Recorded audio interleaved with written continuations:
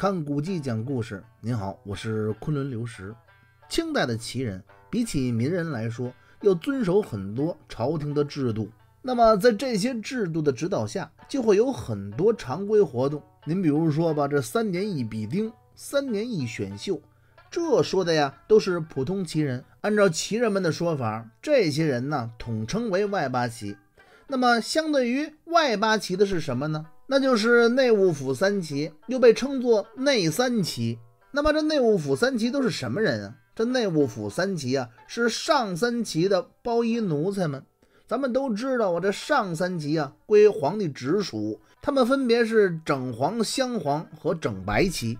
关于这个上三旗的形成，咱们在讲多尔衮的时候就已经讲过了。今儿啊，咱就不掰扯这事儿了。今天咱们这段书主要聊的是这上三旗每年都要举行的一次大事，什么事啊？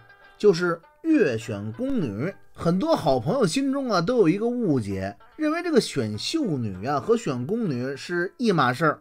其实啊，它不是这样。这月选秀女和月选宫女啊是两种不同的系列，并不是像很多好朋友想的那样。这个选来秀女之后啊，先皇上挑，皇上挑完了之后呢，给成年的皇子挑，皇子再挑不上啊，得了，这帮丫头啊都集中到后宫去干糙活，成了宫女了。不对，这清代啊，它有明文规定，普通旗人之女是不能做宫女的。这宫女呀，只能在包衣阿哈当中月选出来。那选谁的包衣呀？那只能选皇上自个儿的包衣。这其他的八旗王公家中也有包衣，这种包衣啊叫王包衣。根据清廷组织，这些人家庭当中的女子啊，不参加三年一次的月选秀女。为什么呀？因为这些女孩啊，得留给这些八旗王公家里做侍女用。当然了，不是都作为侍女啊，也是要经过挑选的。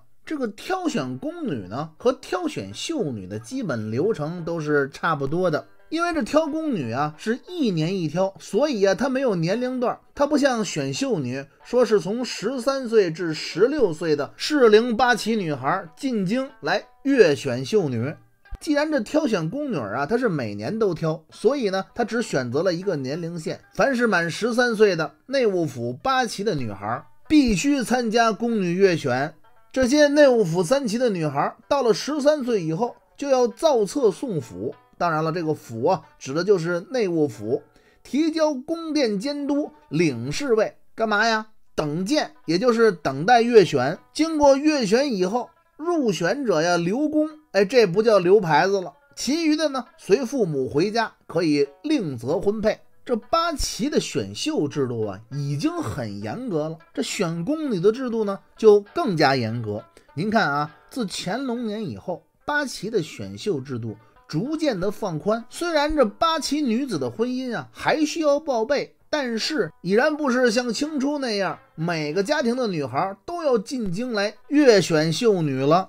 但是这选宫女可不行，这有清一代制度就从来没变过。内务府八旗的女孩，无论贵贱，凡够十三岁者，必须参加月选宫女。您比如说吧，都是内务府三旗，呃，这个人呢，他是个小杂役，在黄庄上喂马，一个月呀就关一两五的钱粮。哎，这个人的女儿够了十三岁，也要进京来月选秀女。再比方说吧，曹雪芹他们家江宁织造的干活，那富可敌国呀。哎，你们家的女孩够了十三岁，也得进京月选宫女。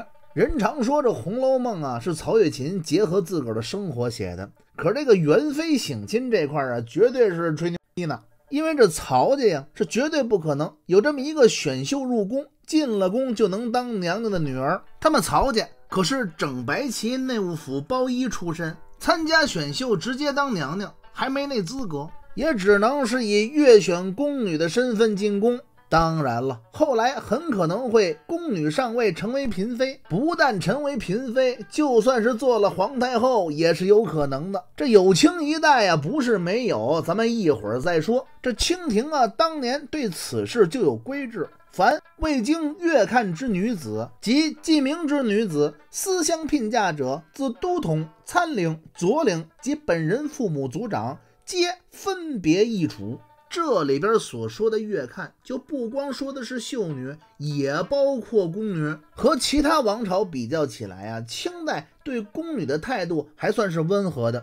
因为这些宫女啊，不但每月有月例银，到了年节呢，有犒劳，还有恩赏。最为关键的是啊，这些宫女在宫中服务到二十五岁的时候，就可以回家婚配了，并且呀，无论是在哪个宫中退休，当宫的主子呀，都会另有一番恩赏。尽管如此啊，您记想去吧，十三岁入宫，二十五岁出宫，这古人寿命普遍都短，其实这十多年啊，应该是这位宫女人生最好的十几年。那么就这样白白的浪费在了宫里，对这位女子而言啊，那也是人生巨大的悲哀。好在不像白居易诗中所提到的“玄宗末岁初入选，入时十六金六十，宿空房秋夜长，夜长无寐天不明。少亦苦，老亦苦，少苦老苦两如何？”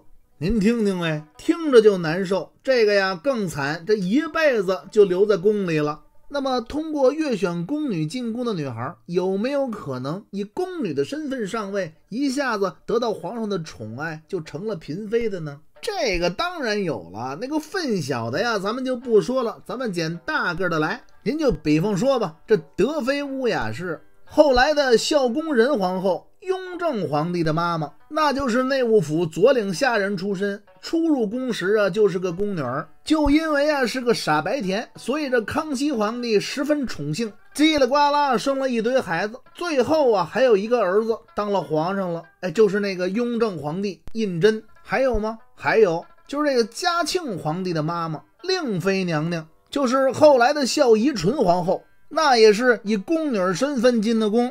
她是满洲整黄旗包衣，孝义皇后也是非常受乾隆皇帝宠爱的。咱不从别的地儿看啊，就光从这个孝义皇后魏家氏给这弘历生了那么多的孩子，您就能看得出来，也是一拉溜生了一大堆。您比如这个永琰，还有永禄、永林，光儿子就生仨，还有两位女儿呢，一位啊就是固伦和敬公主，再有一位呢是和硕和克公主。